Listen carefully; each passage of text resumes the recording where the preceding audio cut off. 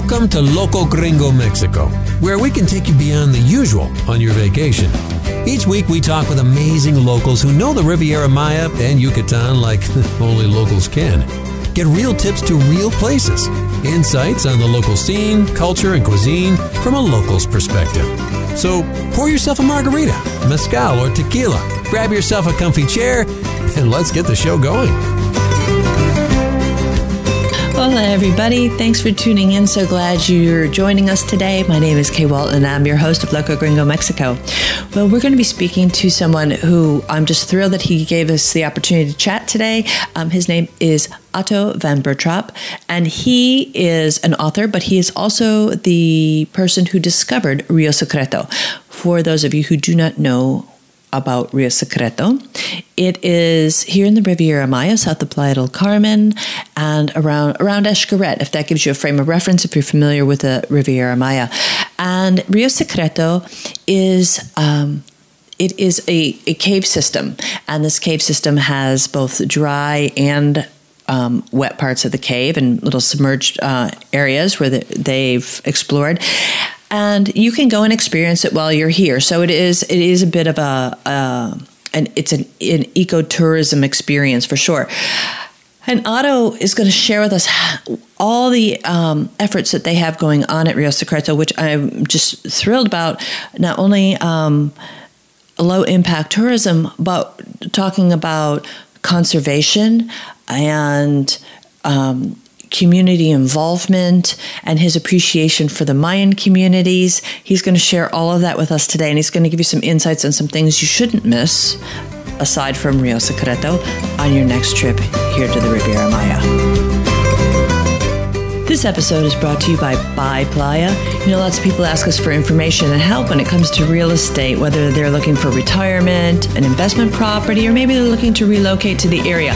And we refer them over to our friends at Buy Playa.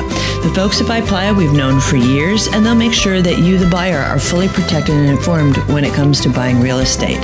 So if you're looking to buy a piece of paradise, check out our friends at buyplaya.com. good afternoon. How are you? Fine, fine, fine, Kate. Here at, at the Riviera Maya, as always, working. Oh, I know, I know. I, you know, Otto, I, I really, I'm thrilled to have you on the show today, and I can't believe that you're an author. You've published what four books?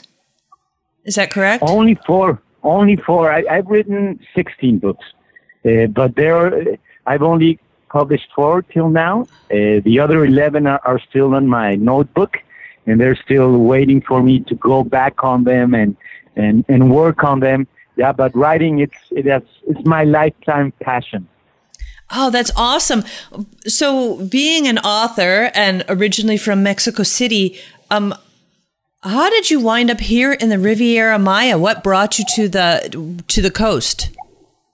Well, it's it's a really long story. I'm I'm a 49 year old person, and uh, I'm a Mexican. I was born in Mexico City, as you know. And actually, when Cancun was first opened 40 years ago, I was nine. I was I actually was eight when I came here the first. No, I was nine.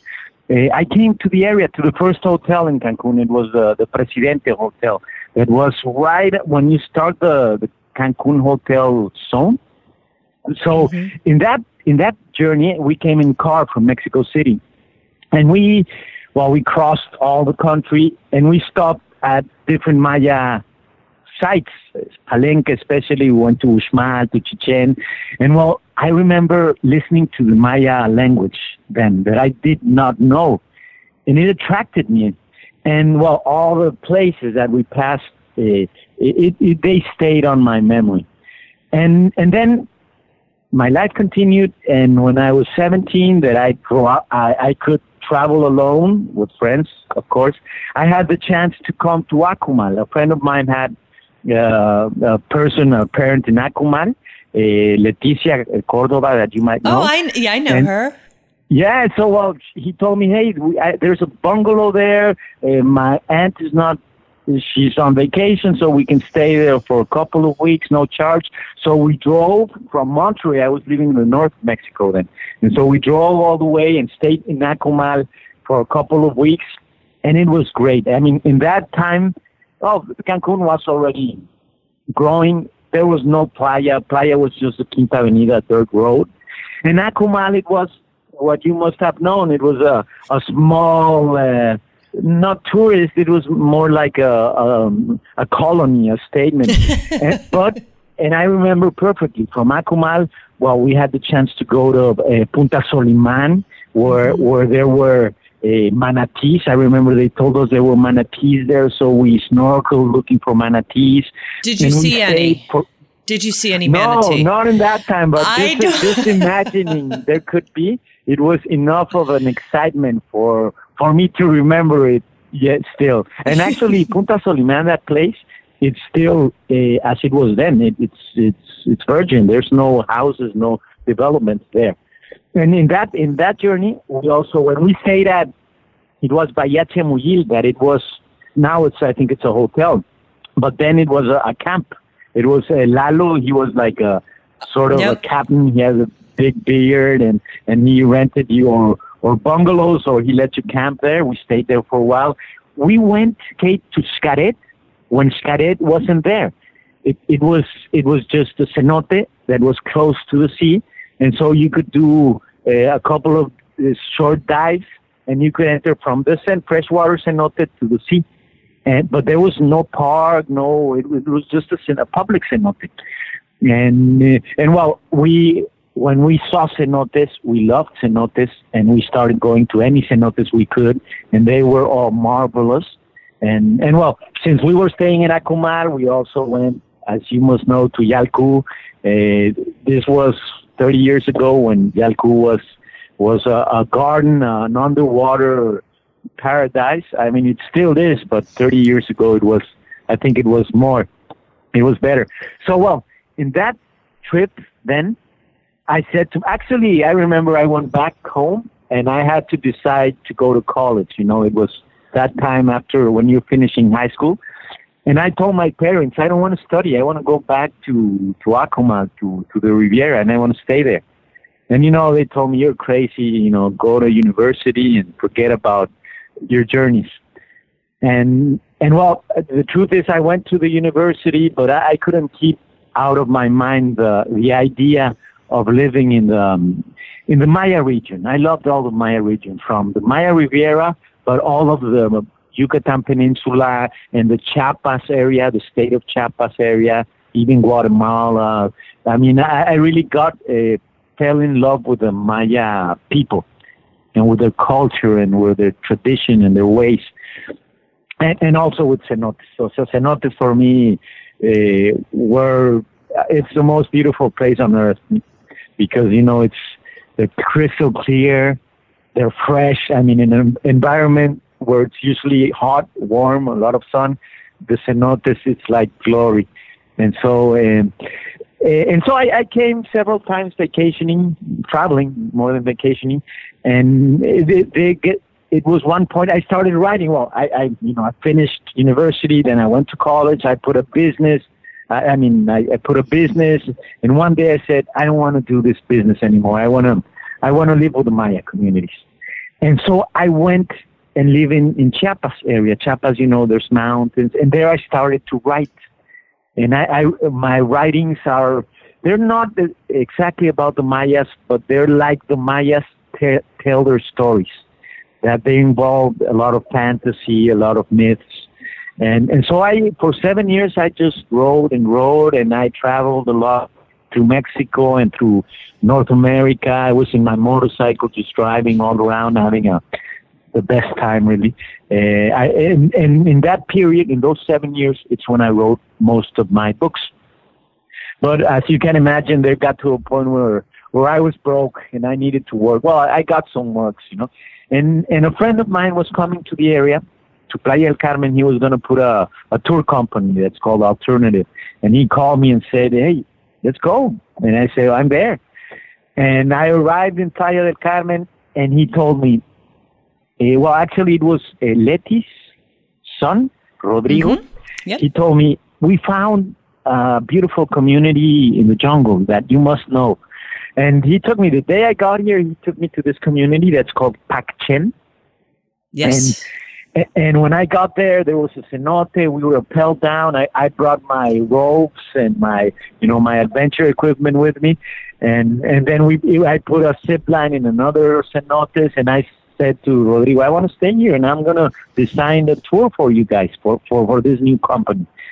And I stayed there. I stayed in that community. I designed this uh, ecotourist activities and started guiding. And then I I involved the community. I I became part of that small village, and gave training to, to the people and helped them organize in order to to to make the ecotourism project work. And and well, that's how I got here, and it was a dream come true for me because I really wanted to live among the Mayas, but I really wanted to do something for them. And so it was all perfect with ecotourism, bring job to them, uh, uh, help them uh, a way to preserve their traditions. And and so in Pac Chen, Pacchen is, is still there. We started that project uh, 17 years ago. Wow. Until now, it's working as as it was first designed with low volume and uh, with a great service and nature. And the, the thing is, we through that community project, what we did and we're still still doing, it's preserving nature. And and from Pac Chen, then we opened another um, tour in Tres Reyes, another community nearby. This is all in the Coba area. And while we started growing and open, opening more tours, and eventually I found Rio Secreto. That's where I'm now that Rio Secreto. I don't, I don't know if you know it, Kate. You know what? You I do know.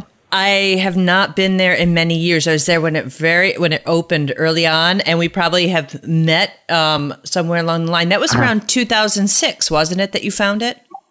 Yes, exactly, exactly. And yeah, I, I think you guys came. Yeah, and well, Rio Secreto, as you might remember, it's wow. No, it's it's it's beautiful. My description then was uh, all of the cenotes I knew if you put them together, it's half of what Rio Secreto is.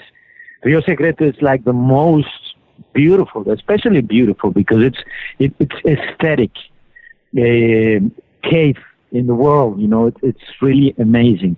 And so when when I had the opportunity to discover this place through an invitation of uh, an ejidatario, uh, an ejidatario is one of the landowners. Say he invited me to to get to know his his ranch and, and his cave.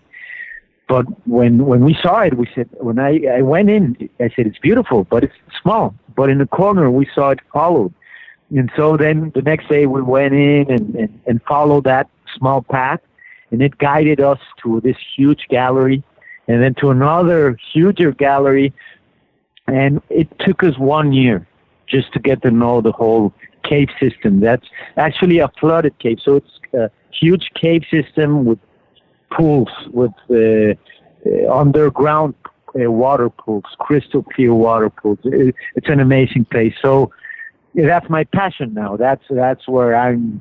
My project here is uh, preserving, as it was in Pac Chen, that it was a preserving project, preservation.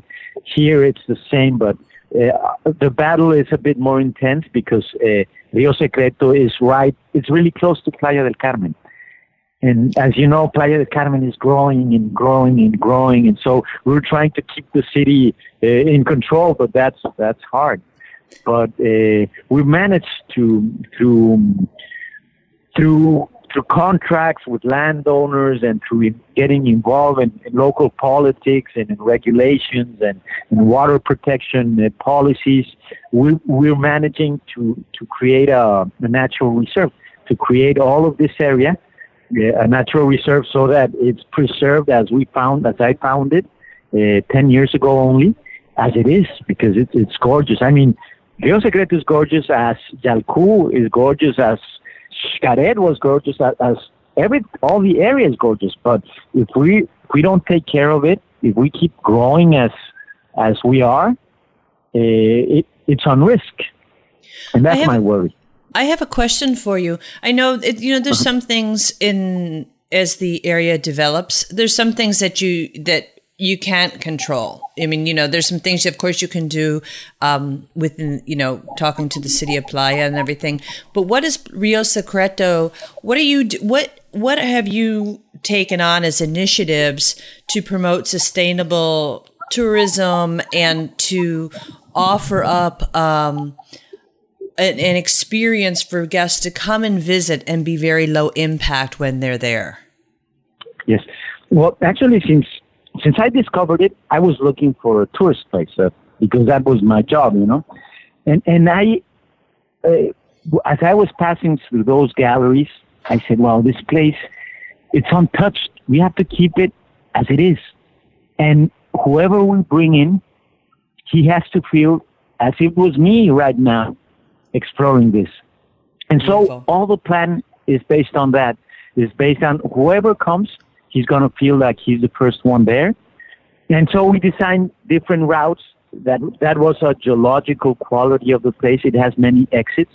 And so the routes we do or the traverses we do, it always enters in one area and traverse and exits through another. And we make small groups of maximum 10 people and we make sure they have separations between groups of at least 10 minutes. And so every group is by his own in this huge cave, does not see anyone else. And with this criteria, we decided not to build anything inside of the cave. We, we did not put railways, no paths, no. The cave is just as it is. The, our only control is threads, line threads, as divers use. Mm-hmm. Uh, we put uh, two lines, and, and you go in between the lines, and, and that's uh, the only the path that we mark. And also, we, we have very strict regulation, our inner regulation that we, since the, the visitor comes, we tell them you have to take a shower, you have to go to the restroom, you have to take everything out.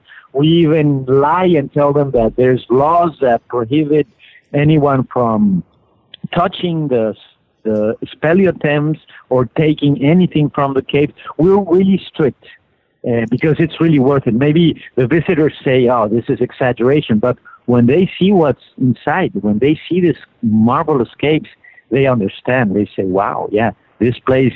It's not. It's a. We call it. Our mission is to be a, a, a human patrimony.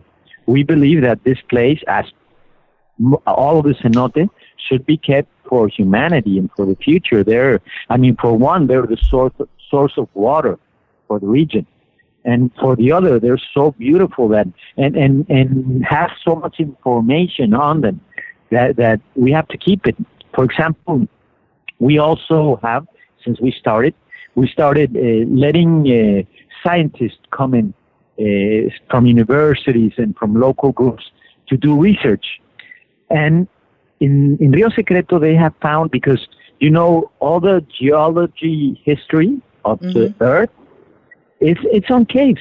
I mean, especially the the levels of the sea, how the glass, the ice ages, and the warmings of the planet, they all have been written on the caves. They're there. You can see it. You can understand the today's topography by knowing this process of thousands of years, millions of years of of the uh, of the climates of the Earth.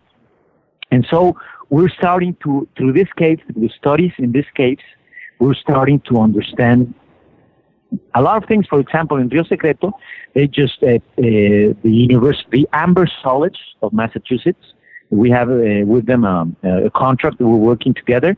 They just uh, published a paper where they define uh, with with a lot of arguments and with a lot of proofs that the Maya civilization, the classical period, left uh, or was dispersed because of a drought and they measured this drought through the uh, carbon studies to a sample of a stalagmite that uh, from Rio Secreto. And there, you know, the stalagmites as, as trees, if you slice them, you have these arrows.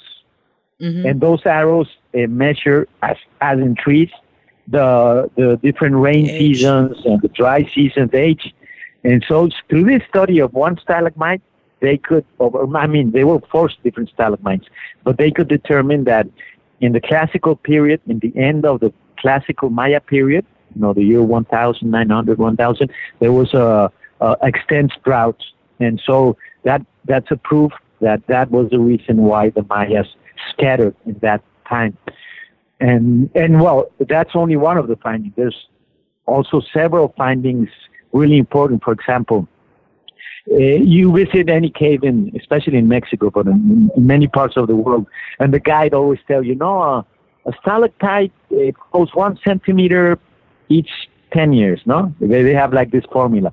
Mm-hmm. But these studies we're doing showed that that's not the case. That every stalagmite has a different rate of growth. We we've studied stalagmites, stalactites that have taken uh, hundreds of years to grow one centimeter, and some stalagmites that have grown in years, in, in several years, just a few years. And it, it, it, it has, there's so many different factors that we did not understand that, but we're finding out now with this research that we're doing on, on Rio Secreto Cave. And, the, and well, wow. yeah, yeah, tell me, Kate.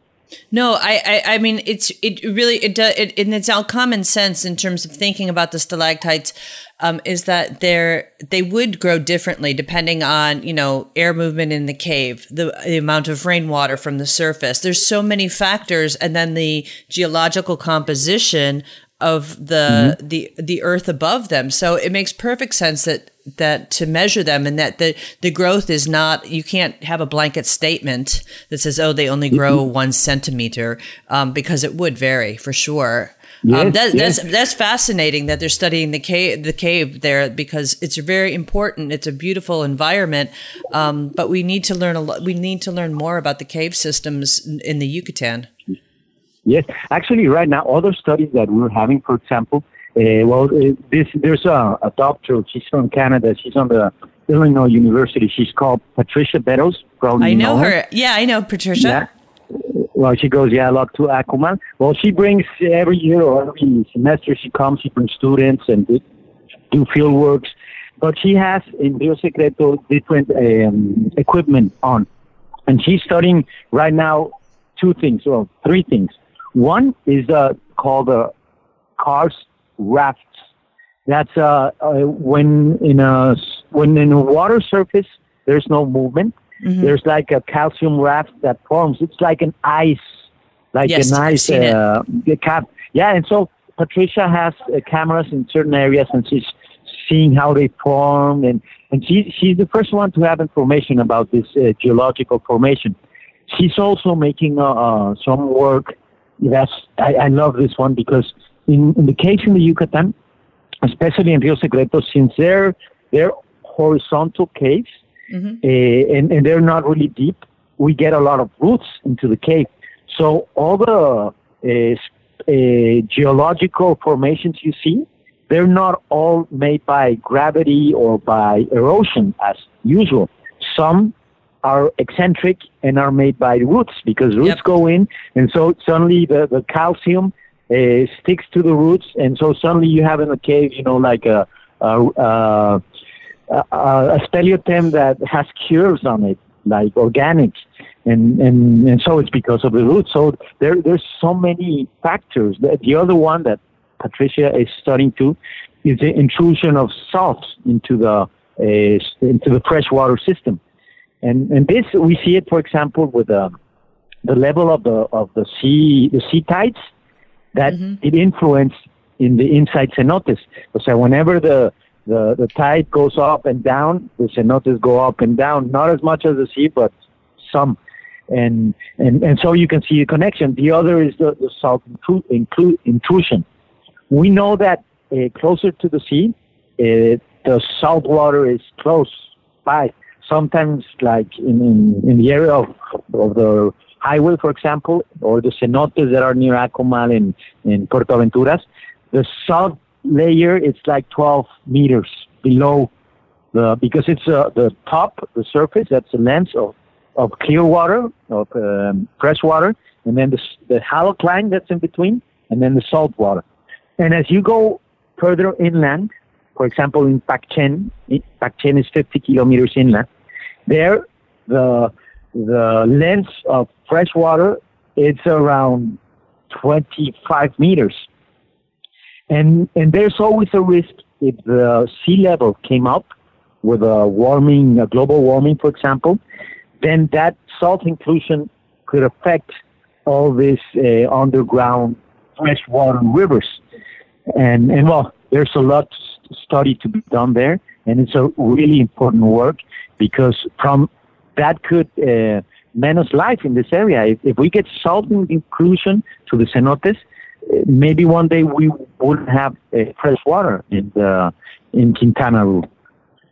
So all this is going on, and and well, our other uh, environmental or more social effort is since we started Rio Secreto, we noticed that we needed to do work with the community. We needed to convince the population that we have to preserve water. And to preserve water, I mean also the jungle and the animals in the jungle because it's all connected. And so we, we organized this organization, non-lucrative organization, that's called Centinelas del Agua. It's, it's sentinels of the water. And, and this is a group of, of actually teachers. It's a group of women uh, that are doing, their main work is doing environmental education in local schools. And so we, we've designed um, uh, in, in Rio Secreto an area for them. So we bring children from schools and we take them, we take them to Rio Secreto and show them the importance of water and of, of conservation for the life on this area of the planet. And, and, and we have like a method uh, of showing this that we can also take two schools and, and also Centinela, she's, that's the arm that's also participating in lo- local pol- policy making. And we're trying to push hard on this um, geological, geohydrological reserve that different studies have uh, concluded that in order to preserve the water in this area, uh, a natural reserve needs to be uh, decreted in this reserve so that water can be kept. And so we're pushing this with the with the idea that all of the cenotes and underground rivers can be considered as biological corridors so that fauna uh, can uh, transit through this reserves or network of, of biological corridors. And, and when those corridors pass through cities, for example, Playa del Carmen, what we're trying to promote is that in the, in the urban development, they leave uh, linear, parks, so extend parks uh, that cross the cities so that uh, can transit too. So, well, it's a dream we're fighting for and we, we we've got somewhere we've advanced uh, this this concept now it's included in, in, part of the, the local plans and so we're we're trying we're trying to do our best effort and and uh, since we started that was our purpose. It's preservation through ecotourism. But uh, our our goal is a bit higher. It's not only conserving preserving rio secreto but helping uh, make a network or framework so that all of the cenotes in the area can be preserved. That, that's our, our goal and our effort, an everyday effort. And every person that comes and visits Rio Secreto, in a way, in a very direct way, is contributing to this uh, fight or this effort.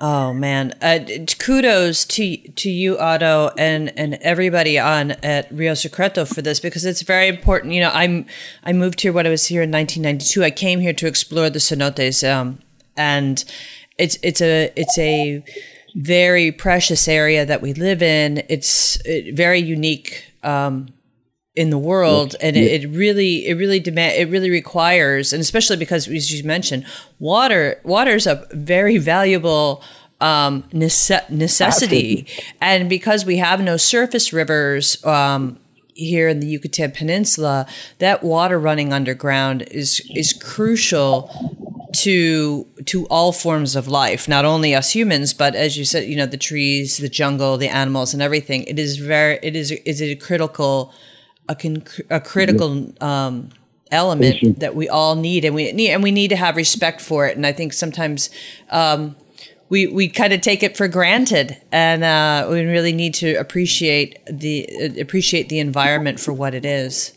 and that it's very special and worth protecting. Yes, yes, we believe that that we're not alone. You know, we're a group in, Rio Secreto now. We're, a, we're more than hundred people who work here, and we're all compromised with this. But we know that, that there's a, a big part of the community that's uh, that's um, compromised with, with this effort, and it, and we have to we have to really because it, it's a matter of of preservation not only of the of the species and of the jungles. It's a preservation of ourselves, our, our future generations, especially, well, thinking of, of, of us who have kids. As we're going, Kate, I mean, our kids are not going to be able to see uh, jungles or, or know that there's jaguars around and, and least of all have the quality of water that we have. So it's, it's, for me, it's an emergency that we need to work together because as we are working in Rio Secreto, we know that there's different ONGs and different people working on, on that same di- direction. And, and it's worth it. It's worth it because, uh, in, in, a sense, we're not going the right way. In, in the environmental sense, we, we've done so much harm because the truth is greed, human greed, or sometimes ignorance. But if we can uh, change that through information or through sustainable projects, which are not focused only in, in the in the green in the money making, but are, but have also the the social factor and the conservation factor. We, we hope we can uh, perm like. Uh, I hope that many companies and many hotels and people who work and live in the area uh, can get those concepts um, in the processes because I mean there's good ways to do things. You can you can work and, and not do harm. But mm-hmm. sometimes if you don't take care of things, you do the same work but harm. So it's just we need to change the culture, uh, help change the culture, and, and wow. we're all on that cave, I believe. That that's absolutely incredible. Um, I, I'm just, I, I mean, I'm taken back. I, I mean, you know, I had known um, about Rio Secreto and everything, but to learn the extent of everything that you guys are doing um, towards research and sustainability and environmental protection, my hat's off to you guys. I'm just, I'm, I'm just in awe of everything that you guys are doing. Thank you, thank you very much, and and, and you're you're welcome to join the airport or on the other hand, whenever there's a need, uh, we participate. You know, we here with the municipality, they tell us there's a cenote that needs to go clean in Puerto Aventuras. All the Rio Secreto personnel enjoys going and cleaning. We, we do that a lot too. We try to to, to help out in, in the community. So, oh, that's beautiful. Uh, yeah, please let us know. You know what? We get some about we get our Loco Gringo staff together and we can go out and do a mm-hmm. little team effort with uh, with all of you guys from Rio Secreto. That would be a lot of fun. Yes, yes whenever you want, because we're we're for that. We like that. Okay, and and, and, and joining efforts is the, is the best way. More people Absolutely. join. Absolutely. Otto, I have a question for you. Do you have some do you have some tips or recommendations for people who want to come to the area how they can have a more authentic experience or have an experience where it is low impact on the environment or in the community and things like that? Any insights that you can share?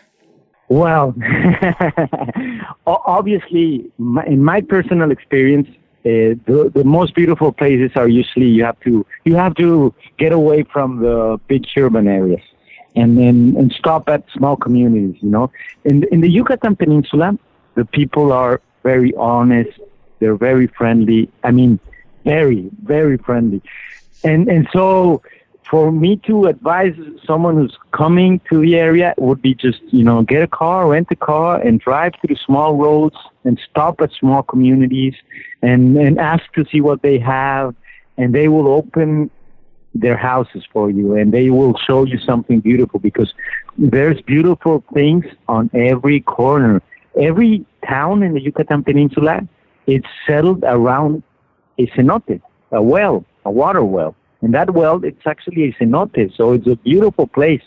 And and so and and that's also helping you know the the communities because what's happening in the area is that you know there's this Cancun big city there's now Playa del Carmen or Riviera Maya and so all of the people from villages have had to come and work in these big urban areas now. And so they need work. They need, you know, people to visit. They um, and and they need to preserve and to go back to their homeland. And, and and there's so many beautiful things all around. I mean, any road you take, especially for example from Tulum, if you go south from Tulum, that's where the Mayan Oh, area starts. hmm Yeah, you, you you go small roads and these small Maya community villages, and the people, you know, they smile. They're they're uh, the human quality of the area.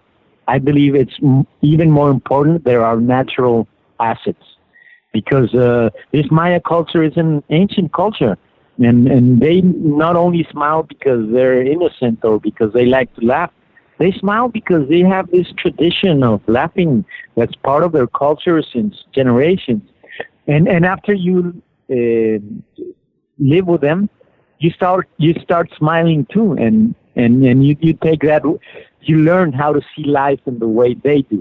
So if you if any tourist can get that, it's really valuable. It will, it will change their lives.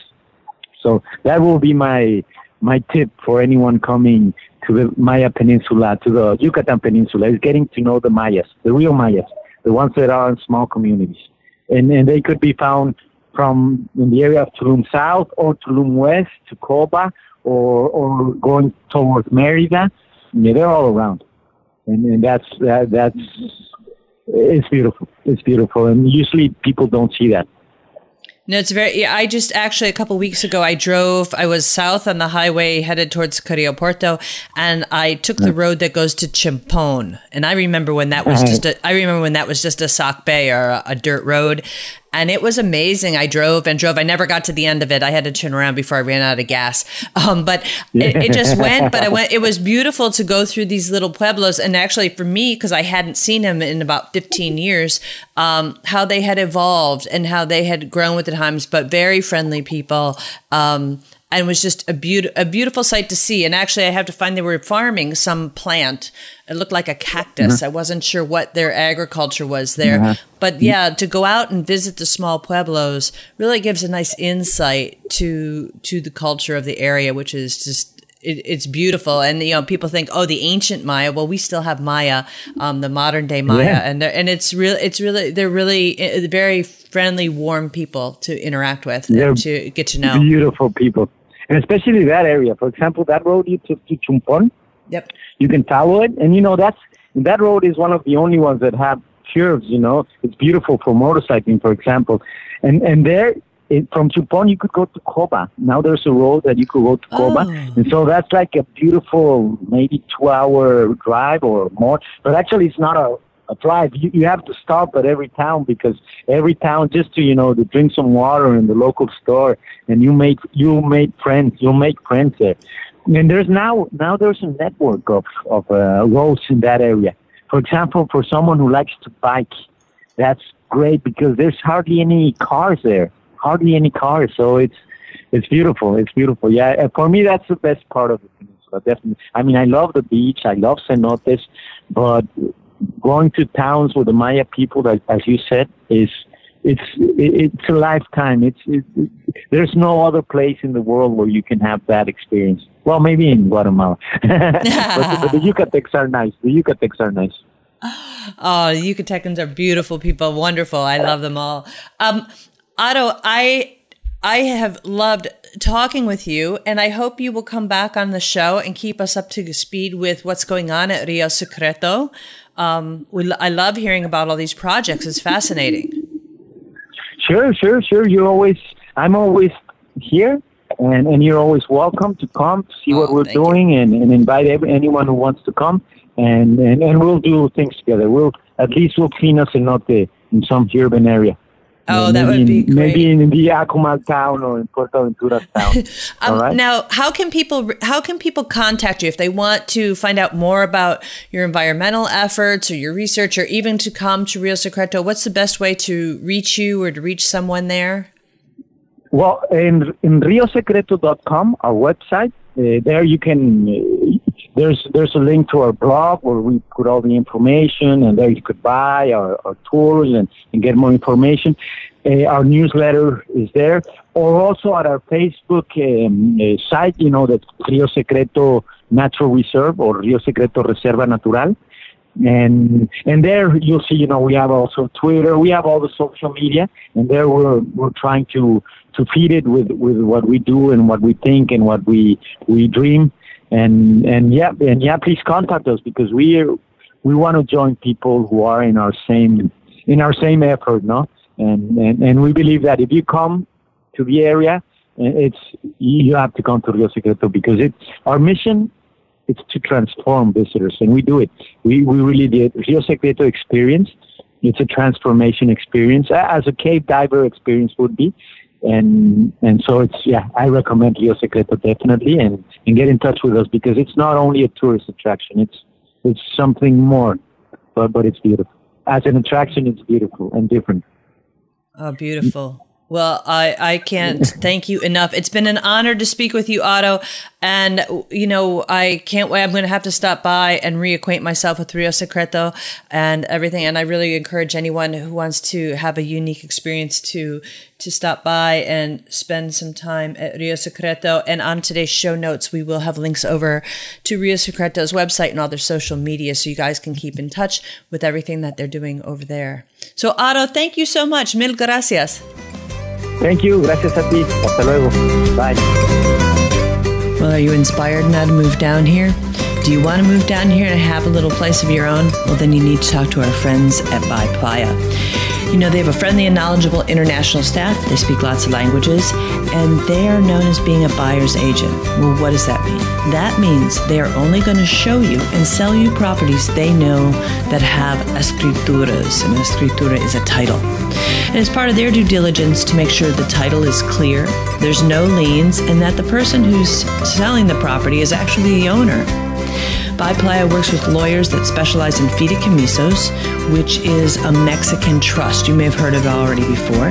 And they can address things such as capital gains problems immediately and right up front so that you have no surprises along the way to closing. So contact our friends at Buy Playa at buyplaya.com. Well, thanks for tuning in today. But before you go, just a reminder that you can visit get today's show notes at locogringo.com forward slash podcasts. And if you're interested in going to Rio Secreto and you want us to make it easy for you, you can contact our concierge. Paulina can help you. Just email her concierge at locogringo.com. And if you really want to um, be um, an environmentally conscious traveler here in the Riviera Maya, we invite you to check out our book, The Riviera Maya Green Guide. It is available on Amazon, iTunes, and Google Play. Thanks for listening. If you like the show, be sure to subscribe. For links, show notes, and more information, head on over to locogringo.com or give us a call toll free at 800 478 0081. Porque se tragó la luna. Estaba enferma la rana, su madre soba que soba, dedos de pluma la panza. Pensó ranita que luna era una toronja blanca, y aunque la luna es de leche, la leche estaba cortada. Croa, croa, dedos de pluma, croa, croa, dedos de agua, croa, croa dedos de pluma, croa, croa.